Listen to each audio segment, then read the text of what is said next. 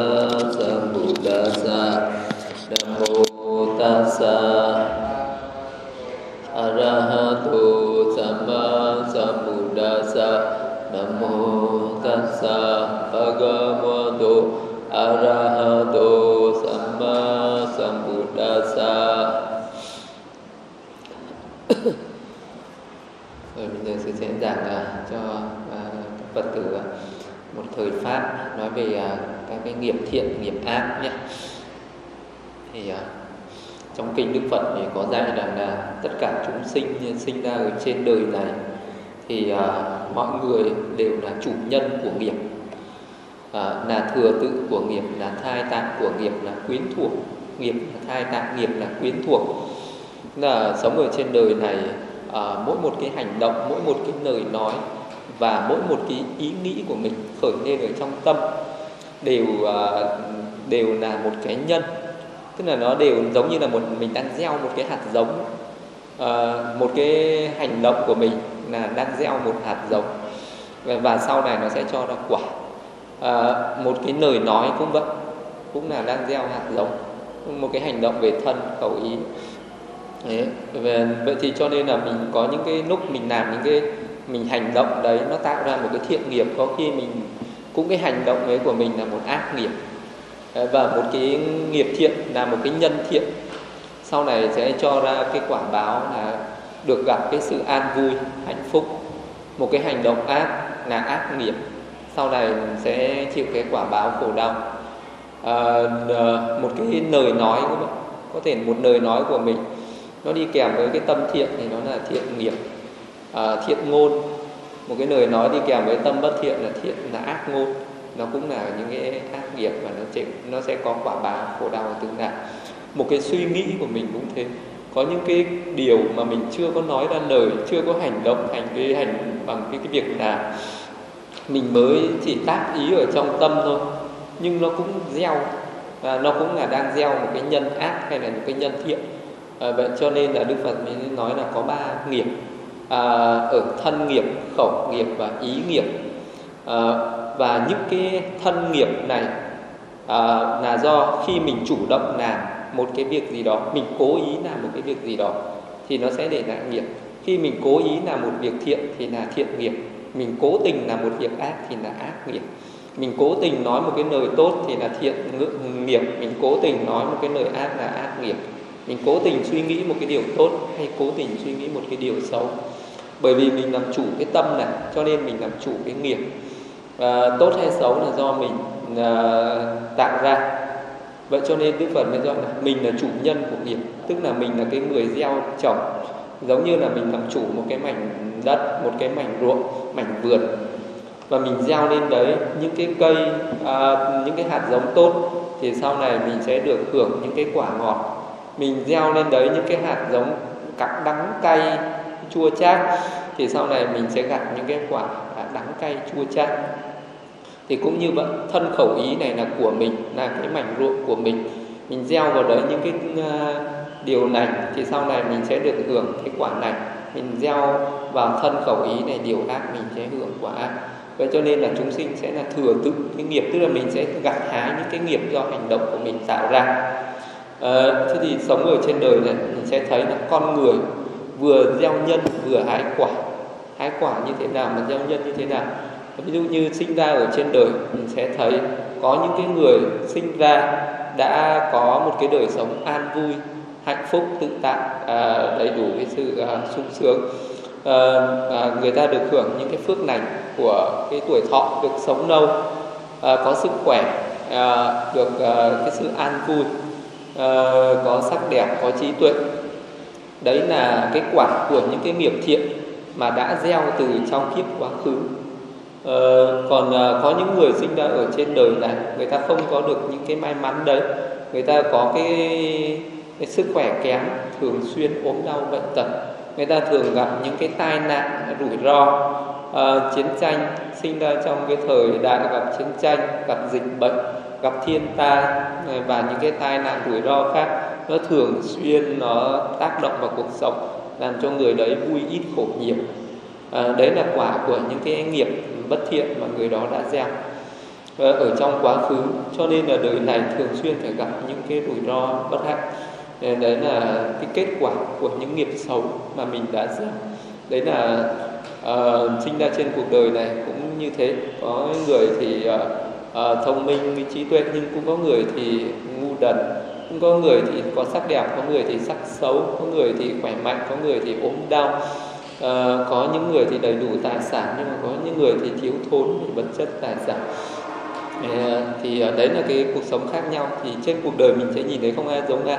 Mình sẽ biết rằng là à, giống như là những cái mảnh à, vườn ruộng ở trên à, thế gian mỗi người có một cái ý thích gieo trồng khác nhau cho nên là mỗi người gặt hái những cái quả khác nhau vì vậy cho nên là dù là sống trong một gia đình mình cũng sẽ thấy ờ, dù là trong một cha mẹ sinh ra những đứa con nhưng mà khi nó lớn lên nó sẽ mỗi đứa nó sẽ có một cái cuộc sống nó an vui khác nhau khổ khổ đau khác nhau hay là an vui khác nhau. Có đứa thì luôn an vui có đứa thì luôn luôn cảm thấy buồn phiền.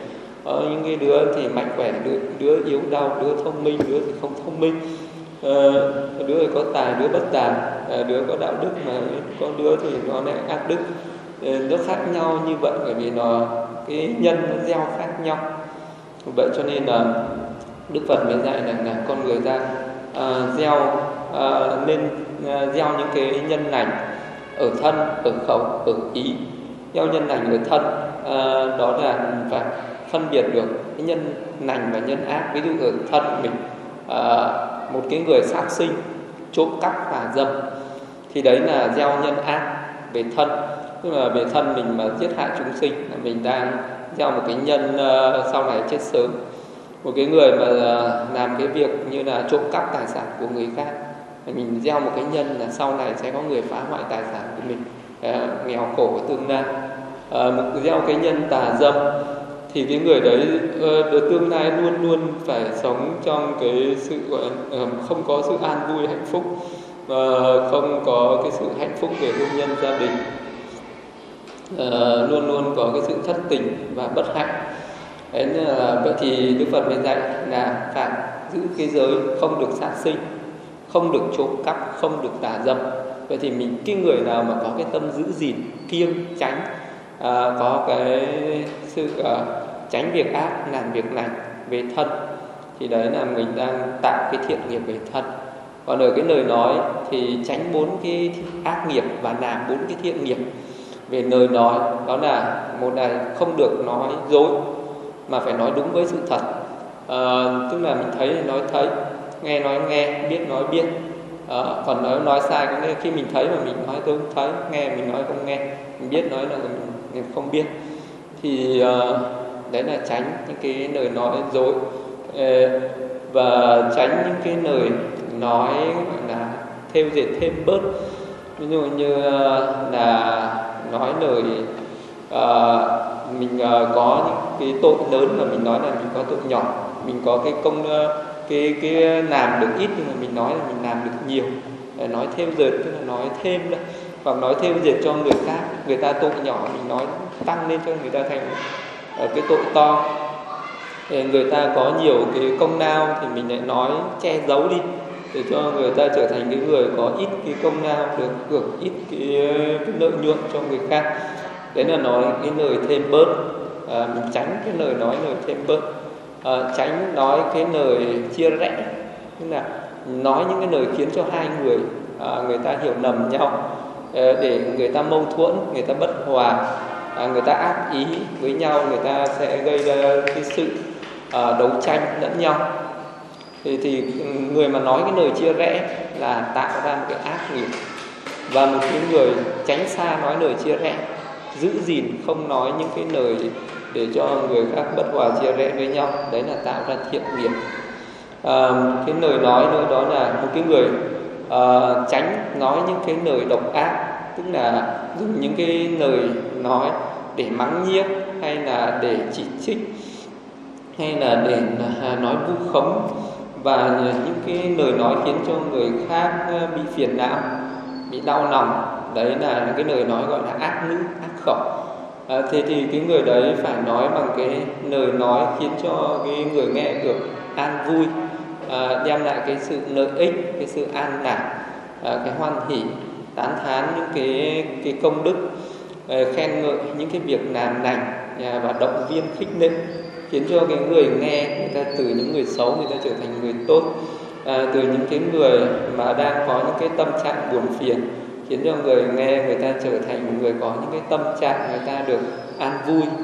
À, vậy thì đem lại cái lời nói khiến cho có với cái tâm là từ bi hỷ sẵn à, từ cái trong cái lời nói nó có cái tình cảm có cái cái lòng cái cái lòng à, từ bi bác ái ở trong đấy thì sẽ khiến cho cái người nghe người ta cảm thấy hoan hỷ, an vui. Thì đấy là những cái lời nên nói. Vậy thì đấy là ở cái cái nghiệp thuộc về khẩu thì tránh xa bốn cái ác nghiệp ờ, và làm thành tựu được bốn cái thiện nghiệp.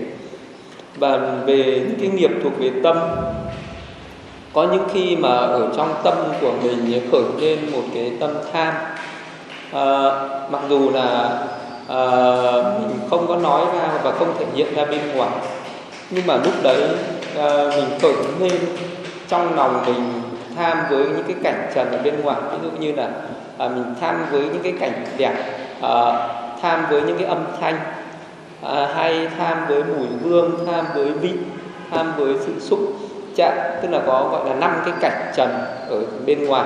Ờ, tức là con mắt ờ, nó tham với cảnh sắc đẹp tai nó tham với cảnh âm thanh mũi nó tham với mùi hương lưỡi tham với vị thân tham với sự xúc chạm đấy gọi là ngũ dục thế gian. Thì ờ, dù mình mới khởi lên ở trong tâm thì cái tâm đấy được gọi là tâm ô nhiễm. À, tâm ô nhiễm thì nó tạo ra những cái nghiệp bất thiện ở nơi tâm. À, dù như là nhưng mà nếu như cái tâm của mình nó có được cái sự thanh tịnh khi nào nó nó có cái sự à, không có khởi lên những cái tâm tham đúng đắn đối với cái cảnh trần ấy, thì cái lúc đấy mới được gọi là tâm thanh tịnh. Cái tâm ô nhiễm là khi nào là cái tâm của mình sân hận.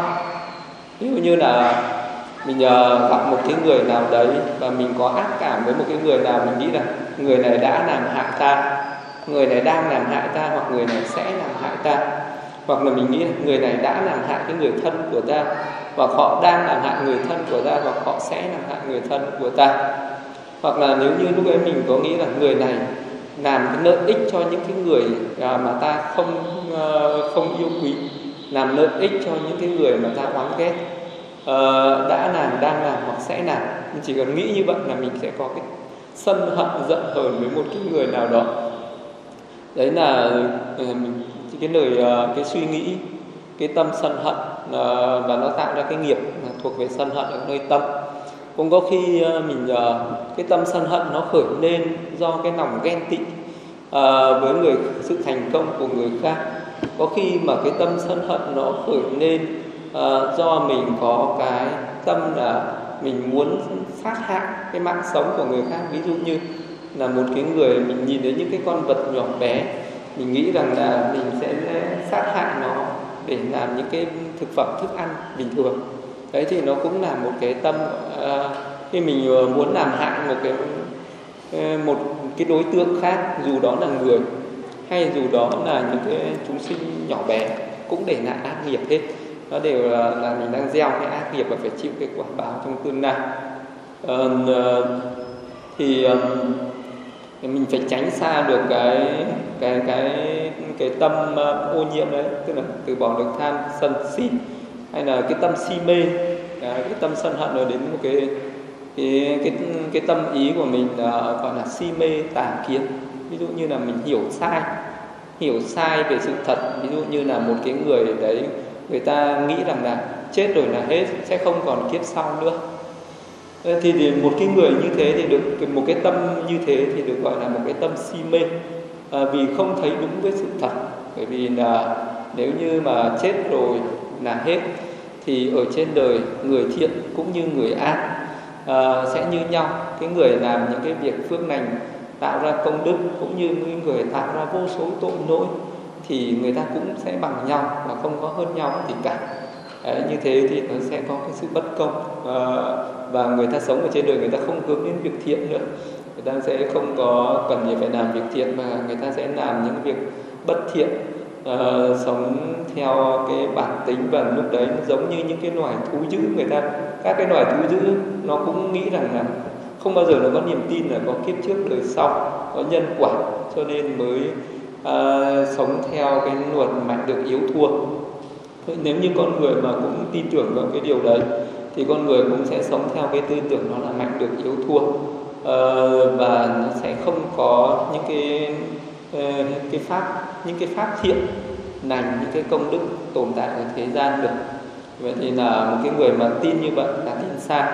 Hay là những có những người người ta nghĩ rằng là à, chết rồi thì sẽ uh, sống sao thì chết bệnh rồi là chết rồi thì sẽ có một cái linh hồn tồn tại và cũng sẽ có một cái đời sống mới. Và cũng còn phải sử dụng các cái đồ đạc như người còn sống. Cho nên là người ta thường tổ chức những cái sự cúng lễ cho người chết cung cấp những cái vật dụng tiền bạc vàng mã cho người chết. Thì cái người hiểu như vậy cũng không đúng với sự thật. À, chết rồi cũng không phải là còn mà chết rồi cũng không phải là hết. Vậy thì chết rồi sẽ đi về đâu?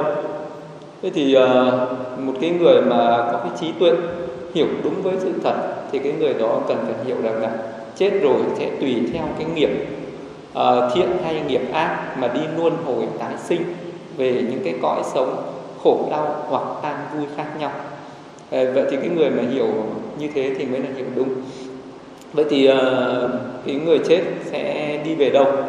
Thì đúng là khi chết là cái lúc đấy là đúng là đi theo nghiệp chứ không phải đi theo cái gì.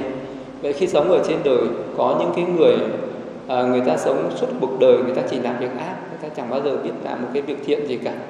À, thân người ta làm ác à, khẩu người ta nói lời ác ý người ta nghĩ việc ác vậy cái người đấy chết sẽ đi về đâu? Cái người đấy đương nhiên là khi chết cái nghiệp ác rất lớn như vậy cái người đấy được gọi là à, cái nghiệp tạo ra một cái nghiệp thuần là đen tối. Cái người đấy sẽ đi vào một cái à, một cái nơi rất là đen tối đó là phải đọa vào địa ngục à, đọa làm ngã quỷ đọa làm súc sinh đọa vào những cái loài à, vào những cái cõi sống rất khổ đau. Và người ta phải cảm thọ những cái nỗi tức là suốt một cái kiếp sống đấy người ta thuần phải chịu những nỗi khổ đau. Và không có được cái sự an lành được cái sự an vui gì cả. Bởi vì nếu như cái người mà suốt đời cái tạo ác nghiệp là đã gieo lên một thì cái lúc đấy cái lúc chết là cái ác nghiệp nó cho quả báo tái sinh vào một cái cõi sống mà phải chịu khổ đau suốt cái kiếp sống đó. Vậy thì cho nên là có những cái người người ta chết thì người ta tái sinh vào địa ngục. Ờ, à, làm một cái cõi sống à, mà mắt thường cái con người mình không thấy. Có rất nhiều những cõi sống mà mắt thường mình không thấy nhưng nó có thật ví dụ như là các vị chư thiên hay là các thiên thần à, các vong linh thì mình sẽ không nhìn thấy. Nhưng mà những cái những chúng sinh vô hình đấy nó vẫn có nó vẫn tác động đến những người sống bình thường. À, một số người vẫn cảm nhận thậm chí thấy thậm chí nói chuyện được với những cái người đấy. Và người ta có những cái có những cái cõi sống đấy. Thì à, địa ngục nó cũng là một cái cõi sống như vậy một cái người đấy ở trong địa ngục phải chịu thiêu đốt phải chịu sự hành hạ phải chịu những cái hình phạt khổ đau. À, có những người khi chết rồi ra khỏi địa ngục này lại đi vào địa ngục khác.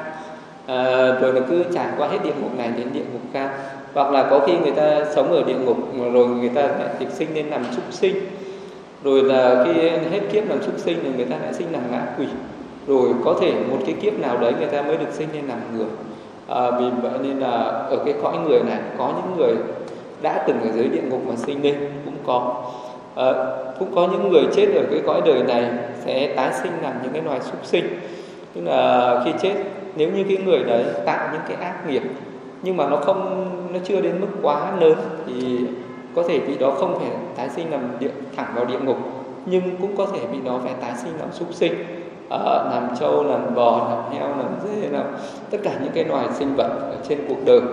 Thì con người đều có cái khả năng bị tái sinh vào nó.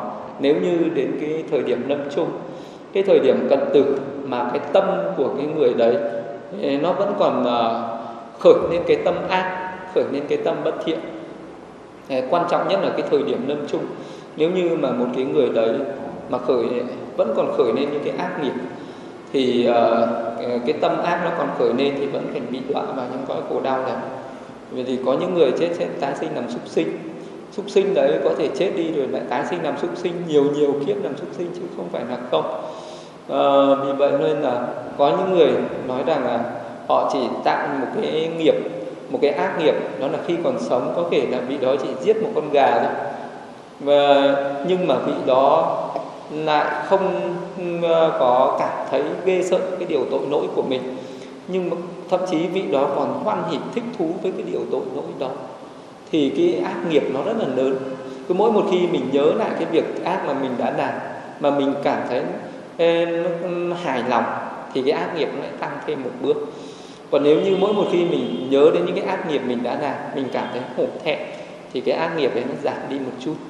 Tức là khi mà một cái người có cái tâm biết hổ thẹn tội lỗi biết ghê sợ tội lỗi thì cái tội lỗi đó nó có thể suy yếu đi. Nhưng nếu như một cái người à, hoan hỉ với tội lỗi thích thú với tội lỗi thì tội lỗi đó nó tăng lên. Vì vậy cho nên là có những người người ta cũng làm việc ác nhưng mà có khi chết chưa chắc người ta đã đoạn vào cõi khổ. Bởi vì là cái uh, người ta làm xong người ta biết sám hối người ta cảm thấy cái đó là lỗi lầm và người ta không hoan hỉ với cái tội lỗi mình đã làm người ta cảm thấy nhàm chán hổ thẹn và gây sợ. Thì uh, thì cái tâm đó là tâm thiện. Thì sau này người ta sẽ tránh được cái cõi ác. Còn những cái người người ta làm việc tội lỗi xong người ta lại hoan hỉ thích thú với tội lỗi của mình. Người ta nghĩ đến những cái điều tội lỗi đó người ta lại càng thêm hoan hỉ thì người ta lại, cái tội lỗi đó nó tăng lên. Vì vậy cho nên là có những người khi giết một con gà họ phải tái sinh tới nhiều trăm kiếp làm cái con gà để trả nợ. Cho nên là có những người mà giết một con gà xong họ phải tái sinh làm gà bằng cái số lông của con gà đấy bởi vì sao bởi vì là họ nên mỗi một lần họ nhớ đến cái việc ác họ đã làm họ lại à, cái tâm hoan hỉ nó khởi lên một cái là cái ác nghiệp ấy nó lại tăng thêm một lần. À, vậy thì một cái người mà khi mình làm một cái việc thiện mà mỗi một khi mình nhớ đến việc thiện đấy với cái tâm hoan hỉ thì cái thiện nghiệp ấy nó lại tăng lên một lần tăng lên một lần. Vì vậy cho nên là có những người người ta chỉ làm việc thiện một lần. À, mà người ta có thể tái sinh về cái cõi an vui hàng nhiều trăm lần nhiều lần nhiều chục lần có thể tới nhiều trăm lần hưởng phước từ cái việc thiện đó. À, có những cái người người ta làm việc thiện rất ít nhưng người ta hưởng phước rất là nhiều. Bởi vì làm sao? Bởi vì mỗi một lần người ta nhớ lại cái việc thiện đã làm thì người ta lại khởi lên cái tâm thích thú hoan hỉ hài lòng thích thú hoan hỉ cứ mỗi một lần mình nhớ đến cái việc thiện đã làm mình cảm thấy hân hoan à, thì cái thiện nghiệp đã được tăng thêm một lần. À, và nếu như mình khởi lên cái tâm hân hoan hàng trăm hàng ngàn lần thì cái thiện nghiệp ấy nó cũng tăng lên gấp trăm lần gấp ngàn lần. Đấy, cũng như vậy một cái người làm ác xong mình mà hoan hỉ với nó là nó cũng tăng cái ác lên. Nhưng mà mình nhàn chán mình hổ thẹn với nó thì nó giảm đi. Cũng vậy nếu như mình làm việc thiện xong mà mình không hoan hỉ không hài lòng à, thì cái việc thiện ấy nó cũng không lớn lên để nó vẫn là cái cái nghiệp à, khi mà mình à, nó tạo ra nghiệp khi trước khi mình làm trong khi mình làm và cả sau khi mình làm. Có khi mà mình chưa làm việc thiện mình đã nghĩ là à ngày mai ta đi làm một cái việc phước này. Hôm nay đã cảm thấy nó hoan hỉ rồi nó đã ngay nó đã tạo ra cái công đức ngay cái lúc mà mình hoan hỉ đó à, trước khi làm. Nó tạo ra công đức trong khi làm mà nó tạo ra công đức cả sau khi làm nữa thế là vậy cho nên là có những cái người mà làm việc ác thì phải sinh vào cái cõi khổ đau như địa ngục, hay là súc sinh, hay là ngạ quỷ. Có một số người khi sống ở trên đời thì người ta nặng, quá nặng về những cái tình cảm. Ví dụ như là người ta nặng à, về cái tâm người ta bị bị lưu luyến bị luyến tiếc với hai thứ, đó là một là tài sản, hai là với người thân. Thì những cái người này khi chết thì thường hay gọi tái sinh vào một cái cõi vô hình hóa sinh tức là người này sẽ không sẽ sẽ tức là chết một cái người ta hóa sinh là một cái loài ngạ quỷ. Và người ta cũng thường lưu luyến à, thường hay có cái sự ràng buộc à, dính mắc với vật chất hoặc là với những cái người thân bằng quyến thuộc. Đấy gọi là cái những người sinh là ngã quỷ. Thì những cái người này cũng rất là nhiều rất là nhiều chúng sinh chết đoạn vào cái cõi này và những cái người mà sinh vào làm ngã quỷ này thì như đức phật dạy là phải cầu siêu cho những người đó, phải siêu độ cho những người đó. Thì ờ, cái cách mà ờ, một cái người sống mà muốn siêu độ cho thân bằng quyến thuộc mà sinh vào cái loài ngã quỷ, đó là mình phải làm một cái việc phước lớn, sau đó hồi hướng cái công đức, cái phước lớn đấy, cái phước lành đấy đến các cái ừ, thân bằng quyến thuộc thì để họ sẽ hoan hỉ với cái phước lành đó và họ sẽ được hưởng phước lành nếu như mà cái phước lành đó nó cho quả thì uh, nó họ có thể họ được ừ, thoát khỏi cái cái cõi ngã quỷ mà được sinh về cõi chư thiên. Thì cái trường hợp đấy là đức phật uh, dạy uh, cái người đầu tiên đó là dạy vua bimbisara. Khi mà đức phật còn tại thế thì có ông vua bimbisara.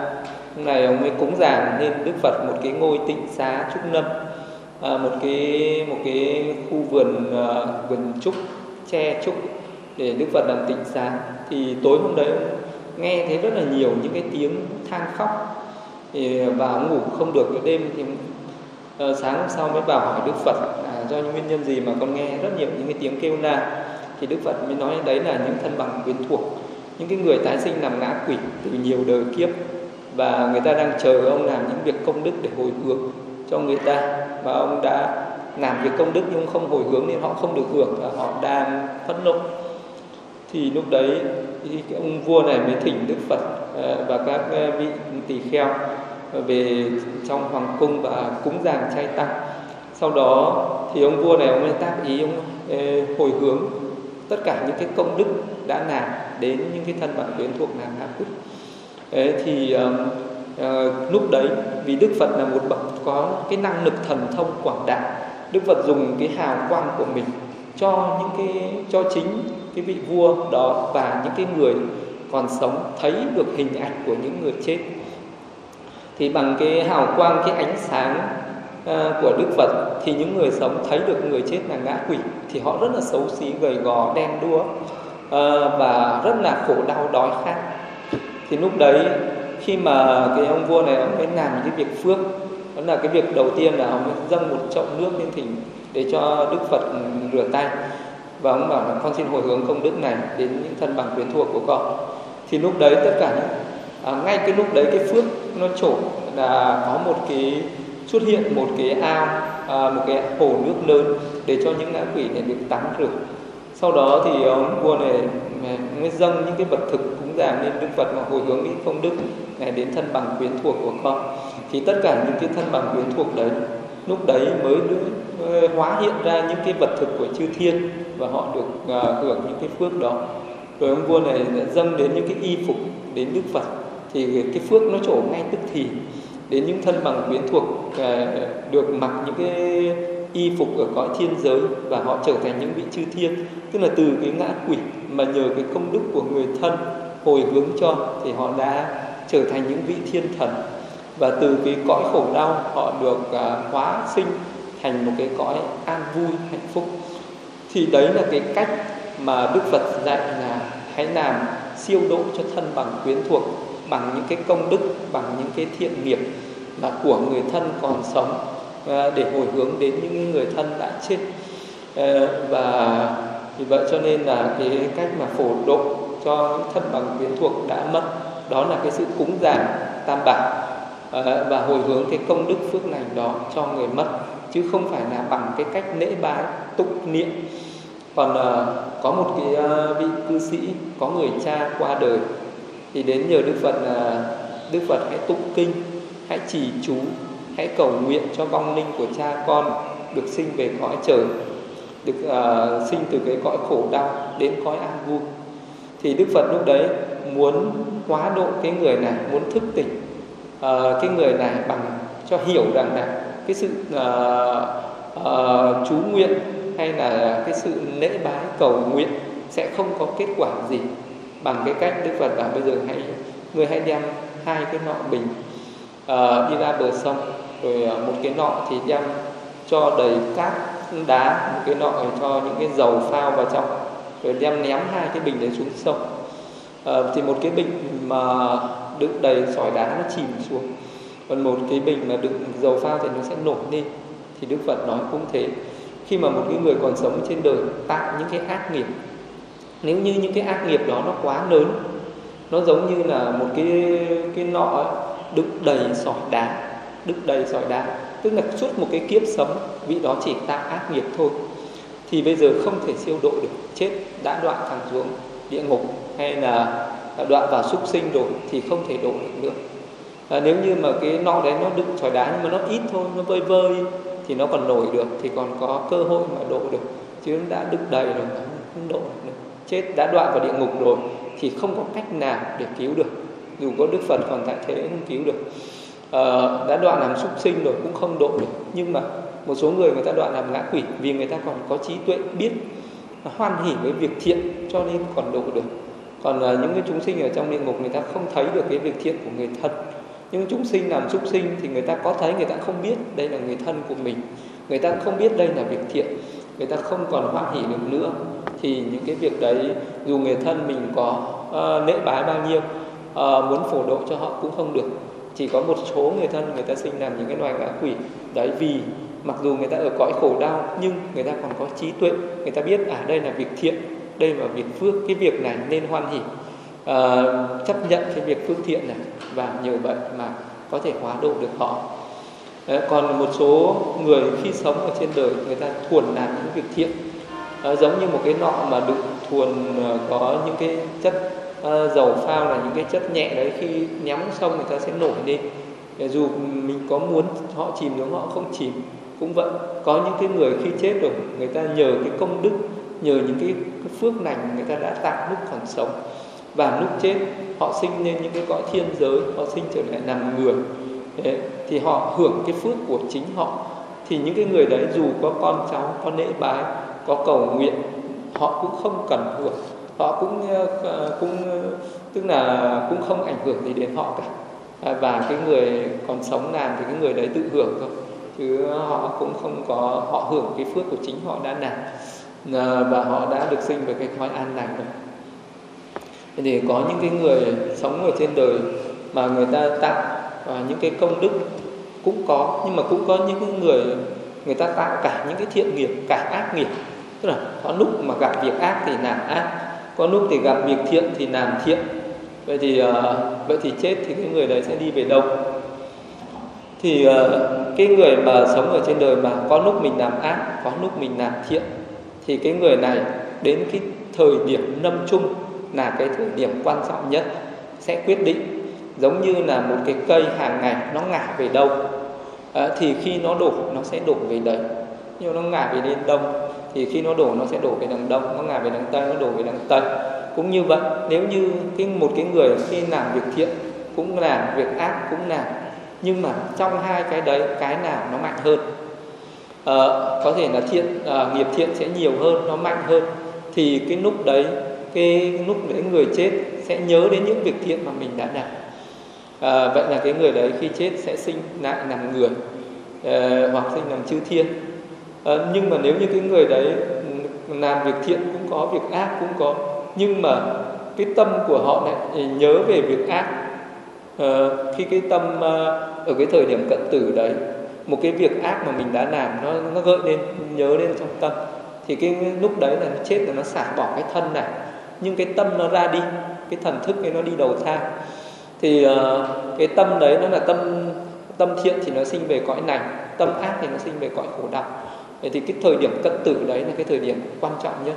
Vậy thì có những cái người ở cái thời điểm năm chung ở cái giờ phút mà bị đó cận tử ấy nếu như nó có những cái người thân À, mà nhắc nhở cho họ biết là họ nhớ lại những việc thiện đã làm.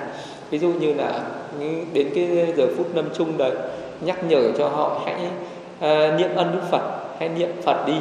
Hay hoặc là người thân tụng cho họ nghe một bài kinh. Khi mà họ nghe một bài kinh cái tâm thiện nó khởi lên à, người ta nhớ về những việc thiện. Hoặc lúc đấy làm những cái việc phước thiện như bố thí cũng giảm à, lễ phật tụng kinh nghe pháp hoặc là biết tu tập hành thiền giữ giới uh, thì lúc đấy họ sẽ khởi lên cái tâm thiện và họ được sinh về cõi này. Thậm chí có những người suốt một cuộc đời họ chỉ làm việc ác nhưng mà đến cái thời điểm cuối cùng đến cái giờ phút cuối cùng họ vẫn khởi lên được một tâm thiện họ vẫn được sinh về cõi này. Trong đó có một cái trường hợp đó là à, một cái hôm đức phật thấy có một cái chàng thanh niên này bị mắc một cái bệnh hiểm nghèo và cái người cha để cho cái người con này sống ở bên ngoài mái nhà, tức là cái hiên ở bên ngoài mái nhà và cái người con đang ở đấy và trong cái tình trạng là chờ chết chứ không thể sống được. Thì lúc đấy đức phật biết rằng là cái người cha này cũng suốt là một cái người không có đức tin và suốt đời làm việc ác, không làm việc thiện gì. Và cái người con này cũng thế, cũng không có biết làm một cái việc phước thiện gì và khi chết với cái nghiệp đấy của họ họ sẽ phải đọa vào bốn cái cõi khổ địa ngục ngạ quỷ súc sinh và atuna không có cơ hội sinh lại làm người. Lúc này đức phật nói chỉ còn một cái cơ hội cuối cùng đó là đức phật xuất hiện trước mặt vị đó. Thì đức phật mới đi đi khất thực đi qua cái nhà của cái người đó. Và đức phật đứng ở bên ngoài cửa và đức phật nhìn cái chàng thanh niên đó với cái ánh mắt à, hiển thiện chiều mến và với cái tình thương. Ờ, chỉ đứng nhìn một chút xíu thôi. Thì cái ờ, cái chàng thanh niên đó cũng đứng nhìn lại đức phật với một cái tâm hoan hỷ và gợi lên một cái tâm cung kính. Rồi uh, à, một hai ngày hôm sau thì cái vị đó đã chết và được sinh về cõi trời. Nhờ cái công đức đó là à, nhớ đến hình ảnh của đức phật. Vậy thì có những cái người khi mà ở cái thời điểm lâm chung ấy, có khi người ta chỉ nhìn thấy hình ảnh đức phật à, và người ta chỉ hoan hỉ với cái hình ảnh đức phật đó người ta cũng có thể được sinh về cõi nào. đấy là có những cái người mà suốt đời không biết làm việc thiện và cuối cùng đến giờ phút cuối đời còn khởi lên được cái tâm thiện họ vẫn sinh về cái cõi an vui được là như vậy. Vậy nên là cái thời điểm cận tử là cái thời điểm à, à, quan trọng nhất.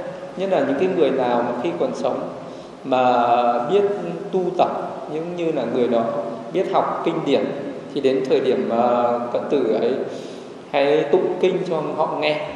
Hoặc là người ta biết nghe pháp cái thời điểm cận tử đấy uh, có thể giảng pháp để cho họ nghe. Hoặc là cái người đấy khi còn sống người ta thích làm việc bố thí hay là cúng giảng thì cái thời điểm cận tử đấy người thân làm việc bố thí cúng giảng để cho họ thấy và họ biết là mình đang làm việc phước thiện. Hoặc là cái người đấy biết tu tập hành thiền thì cái thời điểm cận tử đấy nhớ đến cái phương pháp mình tu tập hành thiền hay là niệm đức phật hoặc là tưởng nhớ đến hình ảnh của đức phật, thì đấy đều là những cái thiện nghiệp mà có thể hỗ trợ cho một cái người ở cái thời điểm cận tử để họ được sinh về cái cõi này. Và ngược lại cũng có những cái người suốt cuộc đời sống làm việc phước, làm rất nhiều công đức phước này, nhưng mà cái thời điểm cận tử ấy lại khởi lên một cái tâm ác, lại khởi lên một cái tâm bất thiện.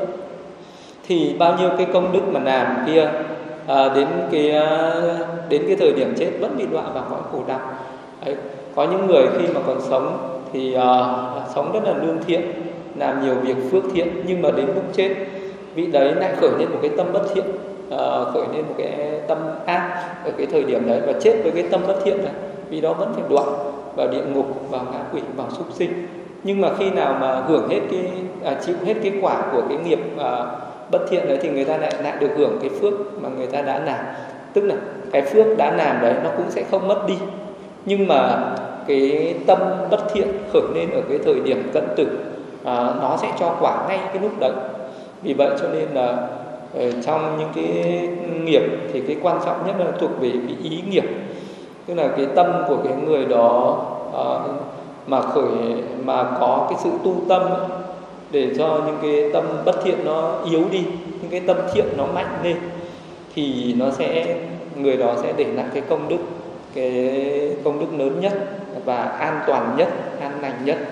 Vì vậy cho nên là có một à, hôm có một cái vị à, cư sĩ đến hỏi đức phật là con thường hay làm những cái việc tế lễ à, lễ ừ, ừ, tức là hay đi tế lễ để cầu phước lành à, cho bản thân. Vậy thì cái việc tế lễ à, và cầu phước cho bản thân ấy có đem lại nhiều cái công đức phước lành không?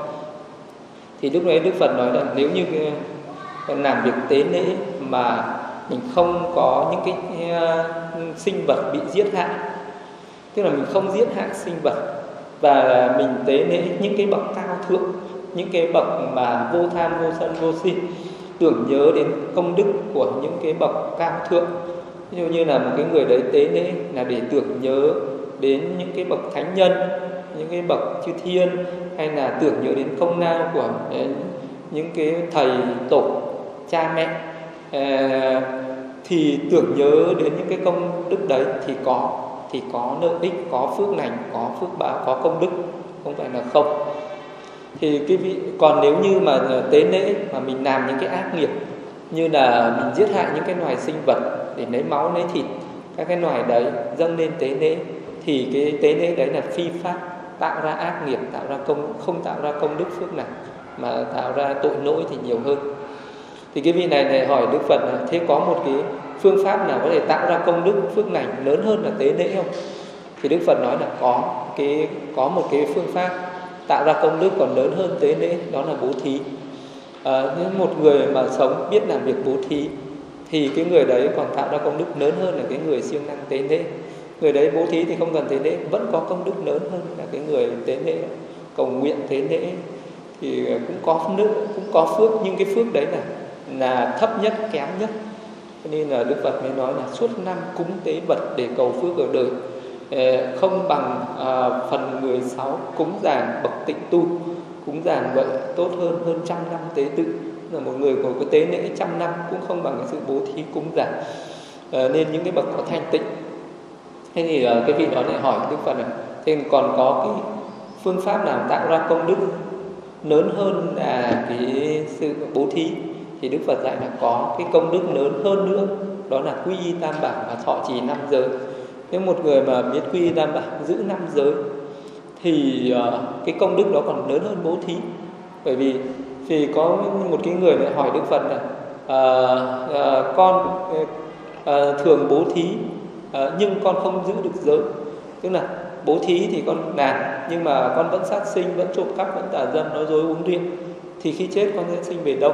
À, thì lúc ấy đức phật nói là nếu như à, làm việc phước à, bố thí có là bố thí nhưng mà không giữ giới thì khi chết những người đấy thường tái sinh làm những cái loài à, súc sinh mà được người ta nuôi dưỡng.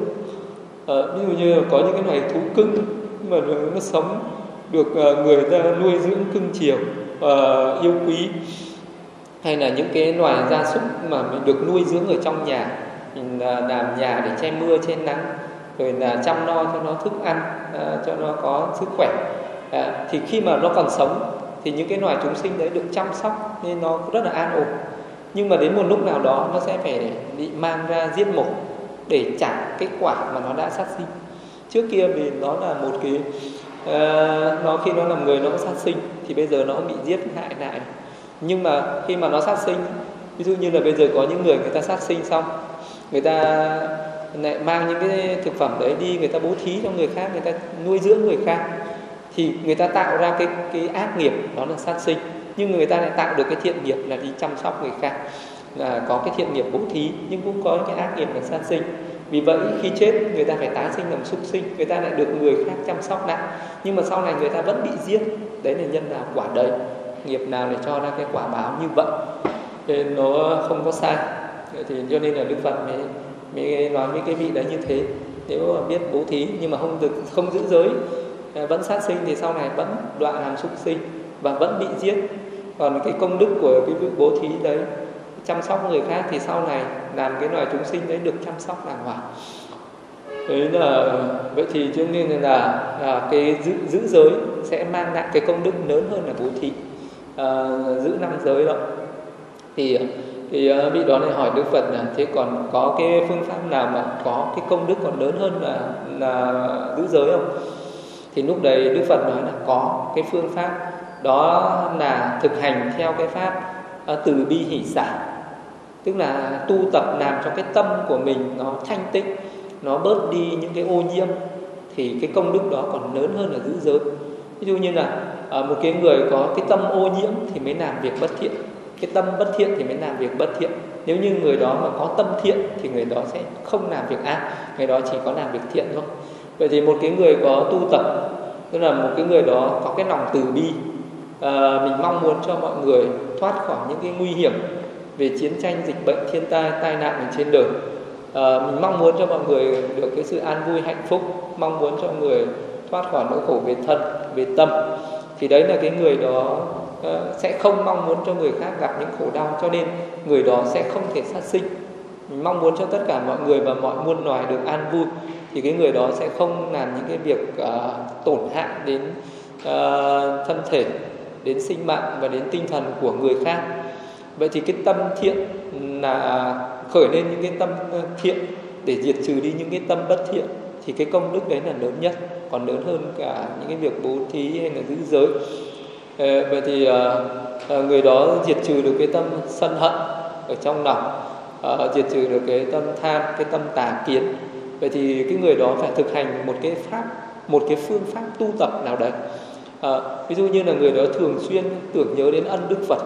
À, thì khi mà tưởng niệm đến ân đức phật ví dụ như là đức phật là một bậc à, đã đoạn trừ hết phiền não tham sân si nên ngài là bậc xứng đáng được cung kính cúng dường. À, đức phật là một bậc a la hán à, tránh đẳng tránh giác có trí tuệ thấy biết tất cả các sự thật ở trên thế gian. Đức phật là một bậc có trí tuệ và có công đức lớn vô lượng vô biên. À, đức uh, phật là một bậc chỉ nói ra những cái lời thiện lành cao thượng. À, đức phật là một uh, uh, bậc uh, hiểu thấu hiểu tất cả những cái pháp thế gian và suốt thế gian. À, đức phật là một cái bậc điều phục được uh, những cái người bất thiện trở thành những cái người thiện. Uh, điều phục được những cái tâm uh, bất thiện của con người. Đức Phật là một cái bậc thầy cao thượng nhất của chư thiên và nhân loại. Thì cái người nào mà tưởng nhớ đến Đức Phật tưởng nhớ đến những cái ân đức của Phật thì cái người đấy cũng sẽ noi theo những cái ân đức đó và cái người đó sẽ hoan hỉ với những cái việc thiện và ghê sợ đối với việc ác. Thì uh, đấy nó cũng là một cái cách gọi là tu tập về tâm hay là cái người nào mà có cái sự tu tập về tâm hàng ngày thì đó biết hành thiền uh, ờ, bỏ ra một thời quá uh, một tiếng hai tiếng ba bốn năm sáu bảy tiếng để tu tập về cái tâm đó. vì đó thực hành thiền gột rửa những cái ô nhiễm ở trong tâm làm cho cái tâm trở nên hiển thiện và thanh tịnh không còn nghĩ về những cái việc bất thiện nữa. Thì cái công đức đấy là lớn nhất. Vì cái tâm đã thanh tịnh thì cái cái lời nói cũng sẽ thanh tịnh cái tâm mà thanh tịnh thì cái hành động nó cũng sẽ thanh tịnh. Vì vậy nên là cái người quan trọng nhất là biết tu tập về tâm làm cho tâm trở nên thanh tịnh. Thì cái vị này lại hỏi đức phật là còn cái cách nào mà có tạo ra cái công đức còn lớn hơn cả cái cái tâm thanh tịnh nữa? Thì đức phật là có một cái cái, cái pháp à, có thể làm cho cái, cái tạo ra cái công đức lớn nhất và tối thượng ở đời đó là cái sự uh, tu tập làm cho trí tuệ sinh khởi à, vị để vị đó đạt được cái trí tuệ giác ngộ chân lý. Khi nào một cái người mà à, à, tu tập để mà đạt được cái trí tuệ giác ngộ chân lý thì cái người đấy sẽ tạo ra cái công đức tối thượng và ở trên đời không có cái gì sánh bằng được không có gì sánh bằng được với những người giác ngộ chân lý. Thì những người giác ngộ chân lý là cái gì? Tu tập để giác ngộ một cái sự thật về cái thân và cái tâm của con người này nó là vô thường là khổ là vô ngã. À, nếu mà bây giờ một cái người ta sống ở trên đời người ta cứ nghĩ rằng là à, mọi thứ ở trên cuộc đời này à, nó sẽ tồn tại lâu mình cứ nghĩ mình sẽ còn sống lâu mình chạy theo những cái niềm vui ở thế gian. À, và mình có cái cái chấp trước là ta là của ta là tự ngã của ta cho nên là nó mới sinh ra những cái tham sân si. Còn nếu như một cái người mà giác ngộ về cái sự vô thường khổ vô ngã à, thì người ta giác ngộ ra được những cái nhân sinh ra vô thường sinh ra cái chỗ khổ đau này đó là những cái phiền não tham sân si. Người ta diệt trừ được những cái phiền não tham sân si đó đó là một cái sự giác ngộ chân lý. À, người ta có thể uh, chứng đắc được cái sự bất tử chứng đắc được niết bàn giải thoát cái vòng luân hồi sinh tử. Đấy là một cái sự giác ngộ chân lý.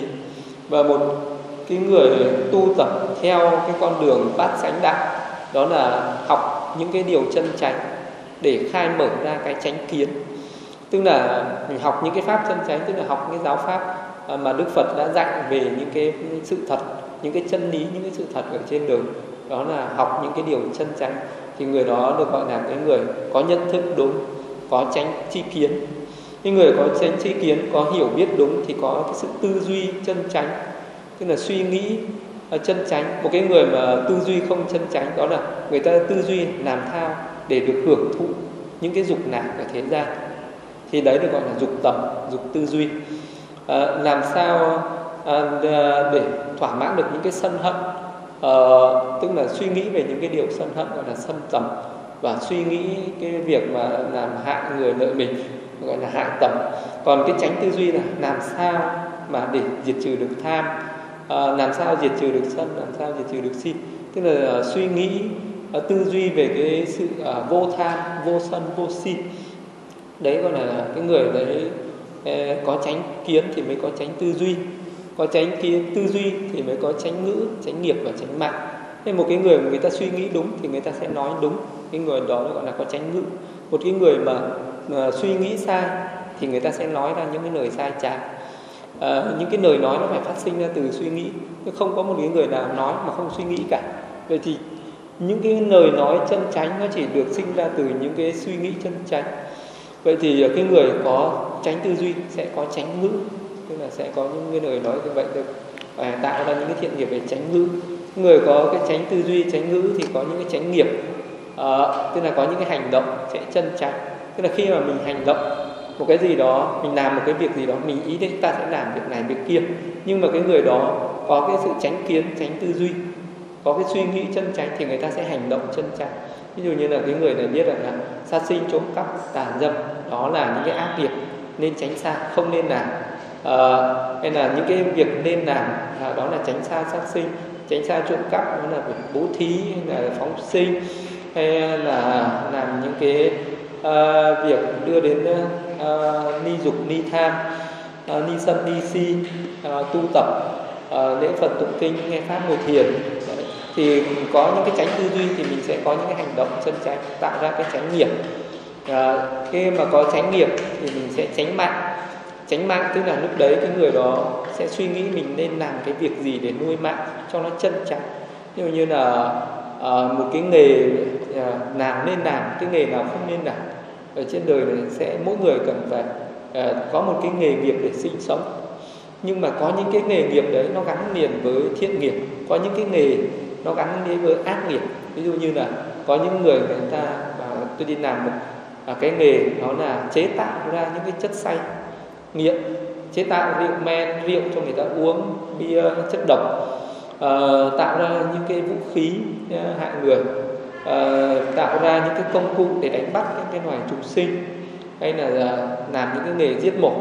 Thì đấy là ác nghiệp. Cái người dù đó là công việc để nuôi sống nhưng là ác là những cái nghề nghiệp ác. Những cái nghề nghiệp đấy cũng sẽ tạo ra ác nghiệp. Vậy thì uh, đó là tà mạng. Vậy thì cái người phải nuôi sống bằng cái nghiệp nên cái nghề gì mà nó không làm tổn hại mình không làm tổn hại người à, không có trực tiếp à, làm tổn hại sinh linh mà nó cũng không gián tiếp làm tổn hại ai cả. Thì những cái nghề như thế mới là cái nghề chân chánh mới là cái và mình nuôi sống bằng cái nghề như vậy thì được gọi là tránh mạng. Ờ, tránh tinh tấn tránh niệm và tránh định tức là một cái người khi mình nỗ lực làm một cái gì đó thì được gọi là tránh tinh tấn nhưng mà cái mình nỗ lực mà làm một cái việc có hại thì là tà tinh tấn. Mình nỗ lực cố gắng làm một cái việc tốt thì là tránh tinh tấn. Thì cái tâm mình suy nghĩ nhớ nghĩ đến những cái điều chân chánh. Ví dụ như là một cái người luôn luôn nhớ đến ờ, những cái cái ờ, thiện nghiệp à, những cái hành động ấy. ví dụ như là cái người này mình luôn luôn nhớ nghĩ là à mình phải làm sao ờ, để tránh được sát sinh trong những cái bước đi à, trong những cái việc làm không tổn hại đến sinh vật ngoài nào tránh được những cái trộm cắp với của người khác tránh được đàn dâm tránh nói dối tránh uống rượu. À, mình nhớ nghĩ đến những cái việc thiện mà mình đã làm ví dụ như là mình đã bố thí và mình luôn luôn nhớ nghĩ đến việc bố thí đó với cái tâm hoan hỷ à, ờ, mình nhớ nghĩ đến khi mà mình à, từng đọc những cái bài pháp của đức phật những cái bài kinh của đức phật và mình luôn luôn nhớ nghĩ đến những cái lời dạy của họ của đức phật trong cuộc sống hàng ngày. Đấy được gọi là chánh niệm tức là mình phải có cái nhớ nghĩ chân chánh nhớ nghĩ những cái điều đáng nhớ nghĩ và mình phải bỏ đi những cái gì không đáng nhớ nghĩ. Ví dụ như là khi mà uh, làm những cái việc xấu mình uh, cũng nên uh, không nên nhớ nghĩ mà nên buông xả nó đi uh, và để mình tránh nó. Hay là không nên nhớ nghĩ đến những cái những cái điều mà mình phiền não, ví dụ những cái chuyện sân hận, những cái ai đó đã nói một cái lời nói xúc phạm mình, đã làm một cái việc gì đó có hại cho mình, thì mình cũng không nên nhớ nghĩ, bởi vì nhớ nghĩ đến nó thì sân hận lại khởi lên. Hay là mình nhớ nghĩ đến một cái cảnh gì đó mà nó có cái sự khả ái, hấp dẫn, nó sẽ nôi cuốn mình, làm cho cái tâm của mình bị trao đảo, bị dao động, bị cuốn hút theo một cái cảnh tham dục sân hận nào đấy thì mình cũng không nên nhớ nghĩ ờ, mà nên nhớ nghĩ đến những cái gì mà nó khiến cho cái tâm của mình nó thanh tịnh nó không có tham lam không có sân hận không có si mê. Ví dụ như là tưởng nhớ đến ờ, phật tưởng nhớ đến giáo pháp tưởng nhớ đến cái con đường tu tập tưởng nhớ đến những cái nghiệp và quả của nghiệp à, tưởng nhớ đến những cái giới hạnh mà mình đã thọ trì. À, và rất nhiều những cái mà mình nên tưởng nhớ tưởng nhớ đến những cái thiết nghiệp mình đã làm thì đấy được gọi là chánh niệm. Và chánh định nghĩa là mình phải nhất tâm trên một cái điều chân chánh nào đấy. À, nhất tâm như là cái người đó nhất tâm tu tập hành thiền chỉ quán chú tâm vào hơi thở nhận biết hơi thở vào ra à, toàn tâm toàn ý à, để đạt được cái định tâm phát triển được định tâm. Thì đấy là những cái những cái hành động những cái điều chân chánh tạo ra những cái thiện nghiệp thế nên là đức phật mới dạy là chúng sinh là chủ nhân của nghiệp. À, vì mình làm chủ cái thân khẩu ý này tạo ra thiện hay ác là do mình là thừa tự của nghiệp. Khi mình gặp chuyện uh, an vui là do nghiệp thiện nó trổ quả. Mình gặp những cái chuyện bất hạnh khổ đau là do ác nghiệp trổ quả. Mình đang thừa tự chính cái nghiệp của mình không phải thần minh ban không phải ông bà cha mẹ ban không phải là do uh, có thượng đế nào ban hay là trừng phạt mình hết trên đời không có cái ban phước và giáng họa. Nên là cái thuyết mà người ta nói là à, ban phước và giáng họa là không đúng mà chỉ có cái thuyết là à, mình tạo thiện mình tạo ra những cái nghiệp này mình hưởng cái phước này mình tạo ra nghiệp ác mình hưởng cái phước à, mình chịu cái quả khổ đau. Vậy đấy mới gọi là chúng sinh là à, thừa tự của nghiệp. Chúng sinh là nghiệp là thai tạng nghiệp là quyến thuộc. Thai tạng ở đây là những cái nghiệp ấy nó không có cho quả ngay tức thì nó giống như là một cái bà mẹ mang thai ờ, một thời gian sau mới sinh ra đứa bé. Cũng như vậy mình tạo nghiệp ở đời này có thể đời sau nó mới cho quả. À, có thể hôm nay mình làm phước nó không cho phước ngay hôm nay. Có thể nó không cho phước trong năm nay cũng có thể là nó không cho phước trong đời này. Có thể là phải đời sau. Cũng có thể là trong đời này nó chỉ trổ một phần thôi đời sau nó mới trổ nhiều phần. Cũng có thể là trải qua một kiếp hai kiếp thậm chí 20 kiếp 200 kiếp hàng nghìn kiếp sau nó mới cho quả. Tức là có những cái quả nó sẽ cho ngay tức thì nhưng cũng có những quả nó phải có một thời gian dài nó mới cho quả. Vậy thì những cái nghiệp đấy là nó thai ngén như vậy. Vậy thì một người mình làm rất nhiều việc thiện à, nhưng mà sao lại cứ bảo tôi vẫn cứ à, chịu những cái quả báo là sống đời sống vẫn gặp nhiều khốn khổ. À, bởi vì cái thiện nghiệp đấy nó còn đang thai ngén nó chưa cho quả. À, cứ yên tâm rồi à, một ngày nào đó cái thiên nghiệp đấy nó sẽ cho ra quả. Cũng có người thắc mắc là tại sao thấy cái người kia người ta toàn làm việc ác? À, người ta sống rất là à, bất thiện. Tại sao người ta vẫn được hưởng cái phước lành, người ta vẫn có cái, những cái cuộc sống an vui hạnh phúc gặp những điều tốt lành? thì đó là vì người ta đang uh, hưởng những cái quả lành mà người ta đã tạo ở trong quá khứ. Còn những cái ác mà người ta đang gieo ở hiện tại nó sẽ cho quả ở tương lai nó không cho quả ngay nhưng mà đấy mới gọi là nghiệp là thai tạng tức là nó uh, sẽ uh, cho ra quả nhưng chưa phải ngay tức thì nhưng nó không mất đi nó còn đấy. Còn nghiệp là quyến thuộc. Như Phật dạy nghiệp là quyến thuộc. Quyến thuộc có nghĩa là nó sẽ đi theo mình ngay cả sau khi chết. Ngay cả sau khi chết rồi những cái nghiệp này nó vẫn còn đi theo mình. Nếu một cái người là bố thí à, giữ giới à, biết làm những cái thiện nghiệp à, thì à, lúc chết những cái thiện nghiệp này nó sẽ đi theo mình. À, và nó sẽ cho nó mới là cái chỗ nương tựa để cho mình có thể được hưởng cái phước này. À, vậy đấy cho nên là à, nghiệp mới là quyến thuộc là nó sẽ đi theo mình. Dù mình đi đến đâu nó đi đến đấy. Dù trải qua bao nhiêu kiếp nó cũng không mất đi. Còn những cái thân bằng quyến thuộc ở trên cuộc đời à, sẽ không đi theo mình. Ừ, sang kiếp sau. Tức là đến lúc chết mình sẽ chết một mình à, và sẽ không ờ, ai chết cùng. Và khi chết rồi mỗi người sẽ đi về một nơi khác nhau. Có người uh, chết ở đây sẽ sinh về cõi thiên giới. Có người chết rồi sẽ đoạn xuống địa ngục. Có người chết rồi sẽ tái sinh lại làm người. Hoặc hai người cùng tái sinh làm người cũng không nhận ra nhau. Không nhận ra nhau nữa dù uh, bây giờ mình có thể là bà con quyến thuộc với nhau. Nên khi mình chết mình tái sinh sang kiếp khác không biết nữa. Không biết đã từng là cha con đã từng là mẹ con đã từng là anh em ruột thịt gì cả. À, quên mất luôn và trở thành người xa lạ liền còn nếu như bây giờ mà có một số người trên đời người ta có những cái năng lực đặc biệt người ta nhớ lại được kiếp trước thì người ta lại luôn luôn đi tìm về những cái cha mẹ của của mình ở kiếp trước. Cho nên là trên thế gian trên đời mình sẽ thấy có rất là nhiều những cái đứa trẻ nó sinh ra nó cứ đòi về nhà cha mẹ. Mà không đấy ờ, nhà cha cha mẹ tôi là cái ông đấy cái bà đấy ở cái cái, cái địa chỉ đấy mà nó tìm đến nhà mà nó cứ nhận. Đây mới là cha mẹ tôi. Vì có một số người uh, người ta do những cái nghiệp đặc biệt người ta nhớ lại được kiếp trước và cứ đi tìm về cha mẹ của mình như vậy. Nếu như ai cũng nhớ về kiếp trước của mình thì mình sẽ uh, thấy mọi người đều là ông bà cha mẹ. Ví dụ như đức phật uh, một lần đang đi trên đường thì có một hai vợ chồng một cái người già ra ôm lấy chân. Ôi con con trai của ta à, con đi đâu mà lâu lắm rồi cha mẹ mới gặp lại con. Rồi sau đó đức phật đã thuyết pháp cho hai ông bà đó chứng đạo quả. Rồi mọi người mới hỏi là tại sao hai ông bà này à, lại dám gọi đức phật là con trai như vậy thì có vô lễ không? Thì đức phật bảo đừng nói thế hai người này có 500 kiếp à, là cha mẹ của ta. 500 kiếp từng là cô chú của ta. 500 kiếp từng là ông bà của ta. Và đã trải qua một cái đời sống là 1.500 kiếp ta với hai ông bà này là thân bằng quyến thuộc. Cho nên là bây giờ gặp lại nhau nó có một cái sự thân thiện rất là tự nhiên. Nên bây giờ đôi khi mình sẽ gặp một cái người xa lạ à, mà mình cảm thấy sao nó có cái sự thân thiện như là người thân người thân ấy, thì thực tế nếu như mình cảm thấy như vậy thì đó đúng là người thân của mình thật.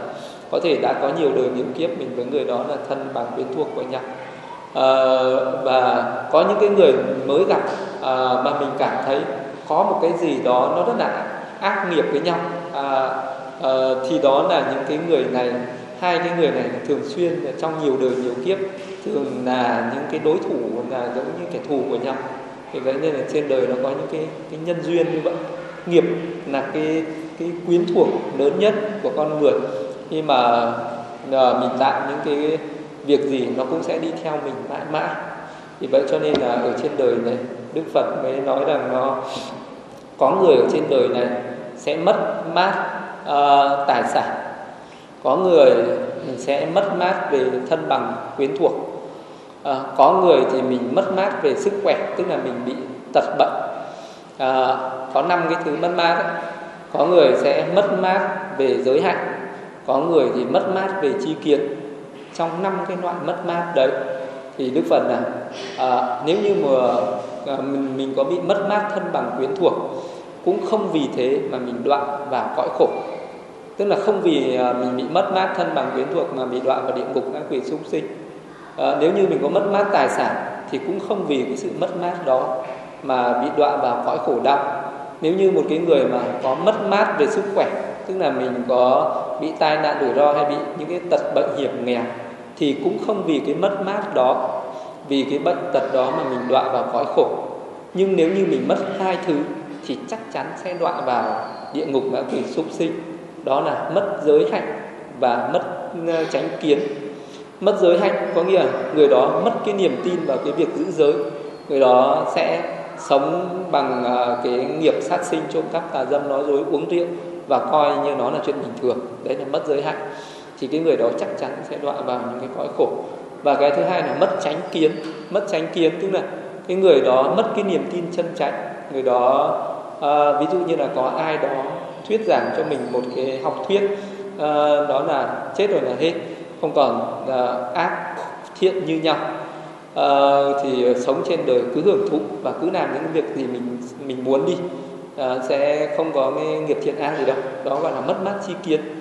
À, thì ờ, cái hai cái mất mát này nếu một cái người nào mà sống không có hai cái đó đó là giới hạnh và tránh kiến thì người đó chắc chắn sẽ đọa xuống những cõi khổ.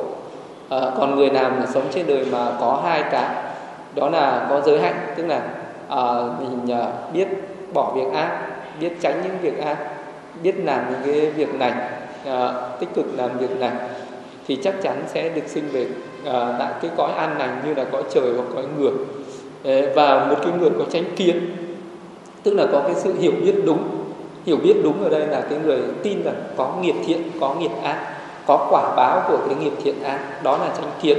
Còn nếu mà một cái người mà nói rằng không có nghiệp thiện, không có nghiệp ác mọi cái hành động ở trên đời nó chỉ là những cái hành động thường tình, không để nạn nhân, không có quả à, không tin nhân quả, không tin nghiệp và quả của nghiệp, không tin có những cái kiếp quá khứ, không tin có kiếp tương lai đấy là người mất chánh kiến. Và cái người không có chánh kiến đấy chắc chắn sẽ đọa vào còn địa ngục các quỷ súc sinh. Đấy là cho nên là đức phật nói là mình cần phải mình không thể giữ gìn được thân bằng quyến thuộc mãi vì đến lúc uh, thân bằng uh, uh, già bệnh chết điều đó sẽ xảy ra. Mình không thể giữ tài sản mãi mãi được. Vì tài sản nó sẽ mất.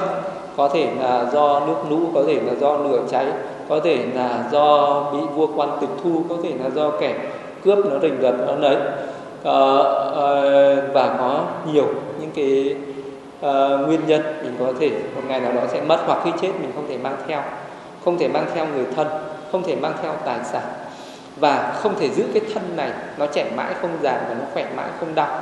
Mình không thể giữ được nó không thể giữ là cái thân này phải trẻ mãi không được già không thể giữ là nó phải mạnh khỏe mãi. Vì vậy nó sẽ phải theo quy luật là nó phải già phải bệnh và phải chết đến khi chết rồi ba thứ đấy à, tài sản người thân và cái thân thể này sẽ không đi theo mình nữa. Nhưng có hai cái nó sẽ đi theo mình đó là giữ giới và tránh kiến. Tức là có niềm tin đúng uh, và giữ uh, thực hành những cái điều đúng thì hai cái đấy nó mới đi theo mình. Nên là đức phật nói rằng nghiệp là, là thân bằng quyến thuộc nghiệp mới là quyến thuộc nghiệp mới là tài sản. Ờ, thật sự của mình vì nó đi theo mình sang kiếp sau. Còn tất cả những cái khác nó không đi theo mình. Vì vậy nên là một cái người có trí thì đức phật mới nói là người đó cần phải chú trọng hai việc. Đó là giữ những cái điều cần phải giữ gìn. Đó là tránh sát sinh, tránh trộm cắp, tránh tà dâm, tránh nói dối, tránh uống riêng là những việc cần phải giữ gìn và cần phải phát triển cái tránh kiến. Tức là cần phải học pháp, nghe pháp, trau dồi giáo pháp và thực hành những cái pháp tu tập để thanh tịnh tâm và để khai mở trí tuệ. Ờ, và vì những cái điều đó mới thật sự ờ, là nó sẽ đi theo mình mãi mãi. Thì là hết cái thời pháp về cái nghiệp thiện ác. Rồi bây giờ có ai hỏi gì không? Chú tú có hỏi gì không?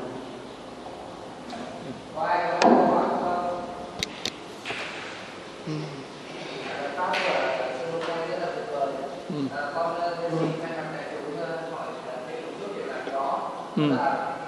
Vậy thì tất cả các nghiệp đều sẽ trổ quả hay là nó sẽ bị tác động bởi các cái điều kiện bên ngoài hoặc là các nghiệp mà gọi là nghi ngược dẫn đến không hiệu quả từ đó mà chúng ta để từ đó mà chúng ta sẽ thấy rằng là giả sử mà mình có làm được uh, nghiệp bất thiện rồi thì mình có thể dùng các nghiệp thiện để đối trị lại hay không đây là cái câu hỏi thứ nhất câu hỏi hai là những cái nghiệp nào thì sẽ dẫn đến là à, trở nên giàu có này hoặc là xinh đẹp từ có thể nêu cái cái cái cái nhân nào sẽ trổ ra quả ừ.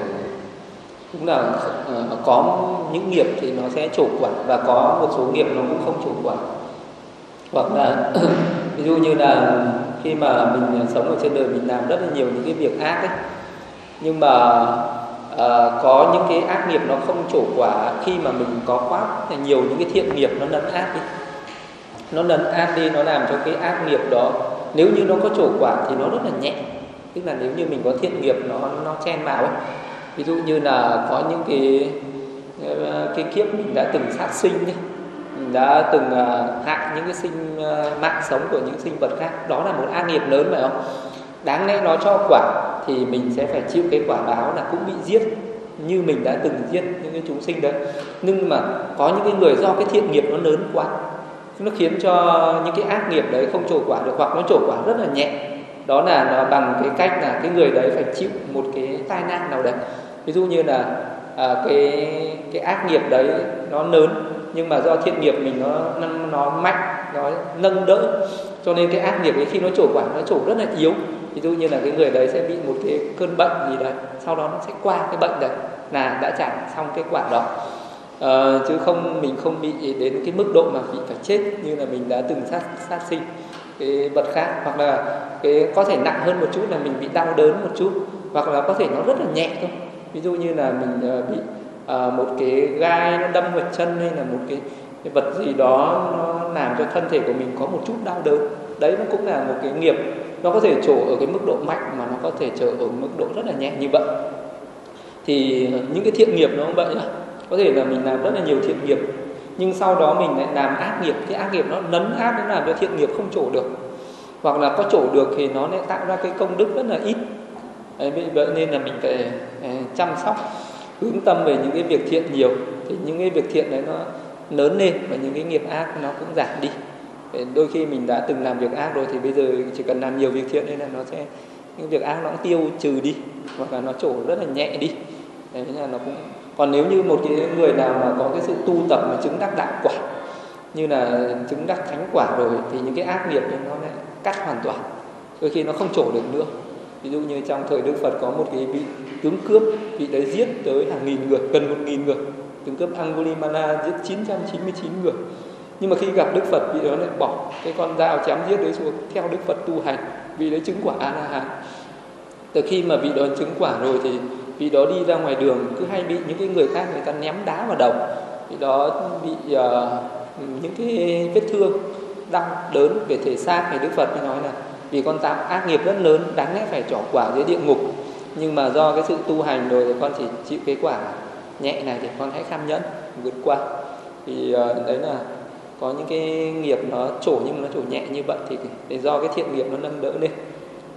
Còn ờ, có những cái nghiệp mà để mà tạo ra những cái sự giàu sang ở thế gian ấy, thì cái sự giàu sang ở đây thì là nó liên quan trực tiếp đến cái nghiệp bố thí. Bố thí sẽ là nhân để giàu sang nhưng mà bố thí thì giống như là một cái người gieo hạt giống. À, vậy cái hạt giống này nó gieo xuống cái mảnh đất như thế nào thì nó mới lên được cái cái quả tốt. Nhưng cũng là cái hạt giống đấy nhưng mà một cái người đấy gieo vào một cái mảnh đất rất là cằn cỗi thì cái quả nó có nhưng mà nó không có không có tốt được. Nhưng nếu gieo vào một cái mảnh đất màu mỡ thì cái quả đó sẽ rất là tốt. À, cho ra cái quả rất là ừ, chất lượng cao thì cũng như vậy thì đức phật mới dạy này người bố thí thì phải quan tâm đến cái người thọ nhận.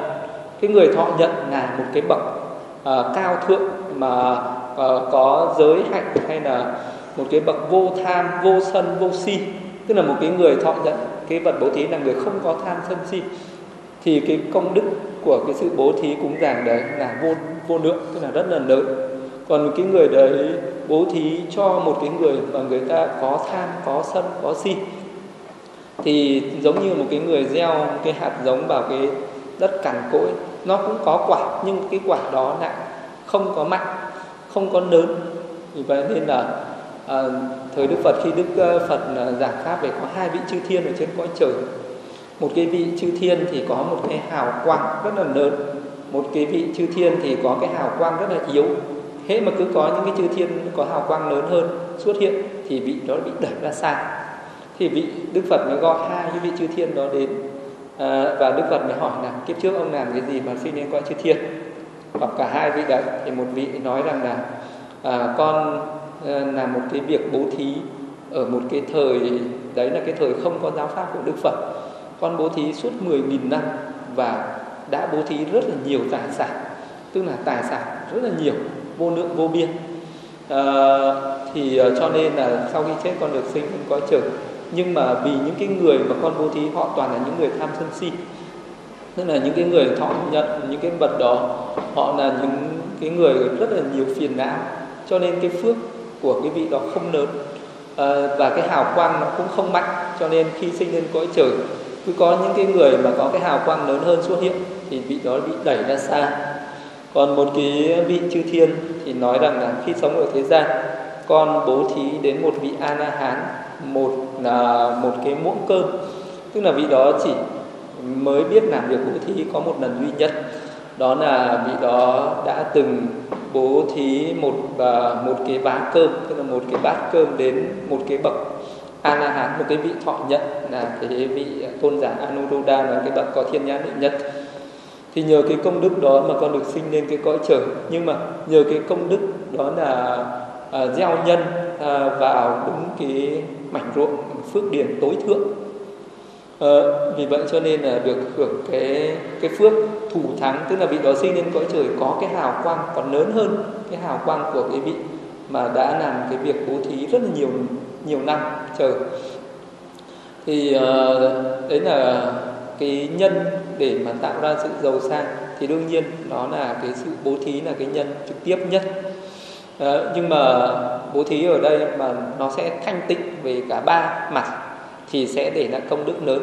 Đó là thanh tịnh ở người bố thí thanh tịnh ở cái vật thí và thanh tịnh ở cái người thọ nhận.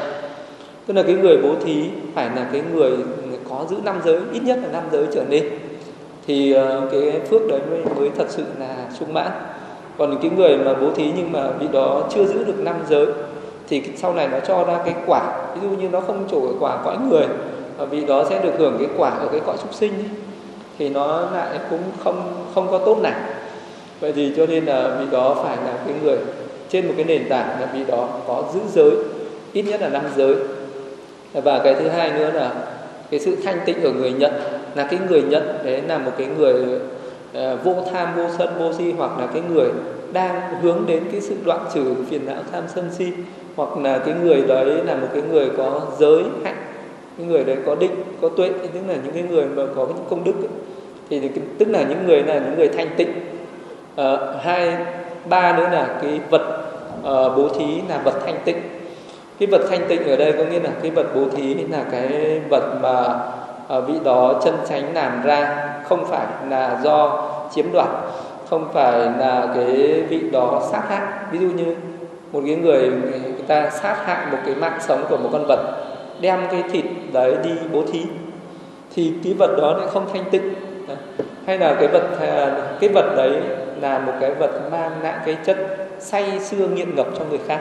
Ví dụ một cái người người ta mua rượu, người ta tự bỏ tiền mình ra, nhưng mà mua rượu, mua những cái chất say nghiện mang đi bố thí, thì cái vật đấy không thanh tịnh. Chất độc, chất say, hay là bố thí những cái khí giới để không có lợi ích như bố thí cho người khác khẩu súng Ờ, đạn bố thí những cái vật mà nó sát thương đem lại cái tổn hại cho người khác cái vật đấy không thanh tịnh. Vậy thì cho nên đức phật mới dạy là, là nó cần thanh tịnh ở ba mặt đấy người bố thí phải thanh tịnh tức là cái người đấy là cái người uh, có giới hạn cái người nhận bố thí thanh tịnh và vật bố thí thanh tịnh. Thanh tịnh cả ba cái đấy thì ước nguyện cái gì cũng thành. Thì mình có thể uh, ước nguyện uh, tương lai chứng đắc niết bàn mình có thể ước nguyện cái công đức bố thí này có thể thành phật trong tương lai hay là ừ, sẽ nguyện là trong tương lai sẽ trở thành độc giác phật thành một vị a la hán hay là trong tương lai mình sẽ trở thành một vị chư thiên hay là vua chư thiên hay là sinh lại làm người được sống lâu mạnh khỏe an vui sắc đẹp trí tuệ.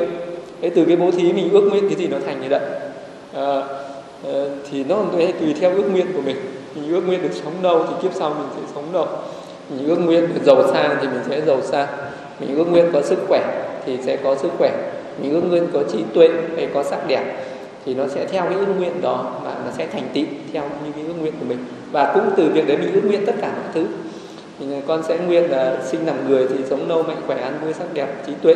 Hoặc sinh làm chư thiên thì có những cái phước này để chư thiên. À, được gặp Phật pháp à, tránh xa ác pháp gặp tránh pháp tránh xa tà pháp gặp những cái bậc ờ, chân nhân, tránh xa những cái bậc ác nhân ờ, và à, sinh ra đời nào con cũng sẽ nỗ lực trên cái con đường tránh đạo tu tâm để hướng đến niết bàn cho ngày tương lai. Mình có thể nguyện nhiều điều đều được. Mình ờ, có những một cái nhân giống như là mình có cái, giống như là một cái người đấy mình có tài sản, rồi mình muốn mua cái gì cũng được. Thì cái cái công đức là tài sản của mình, cái phước lành là tài sản của mình thì mình ờ, muốn mong muốn cái gì cũng được hết. Mong muốn được sống lâu mạnh khỏe ăn vui sáng đẹp đều được cả.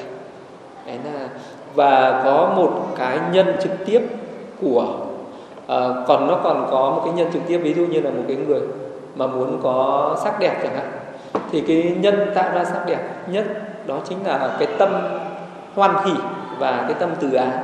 Nếu như mà một cái người tấm mà người ta luôn luôn à, không khởi lên cái tâm sân hận luôn luôn khởi lên cái tâm hoan hỷ à, hoan hỷ với mọi người có cái tâm từ ái với mọi người thì cái người đấy tạo ra cái nhân này là là về sắc đẹp cao nhất.